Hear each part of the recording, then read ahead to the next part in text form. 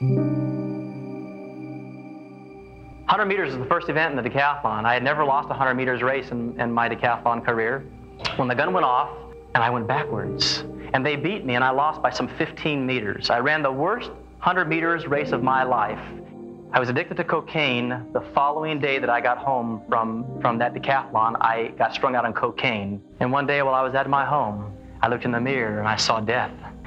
And after I saw myself in the mirror, I went to my wife and I had admitted something for the first time in my life. I said to my wife, Susie, I can't quit this drug. I've tried and I can't quit. I can't do it on my own. I need help. And when I said I need help, oh, the heavenly host rejoiced. That's right, they said. That's right. You're getting closer. A few days later, I was proceeding to get high. When all of a sudden, I hear this Mark, pray. There's nobody behind me, though. What was that? I thought I was hallucinating. Mark, pray. And this loving God of grace and mercy, who I had not known, swept over my body and his presence came when it hit my eyes. I cried for the first time since I was eight years old.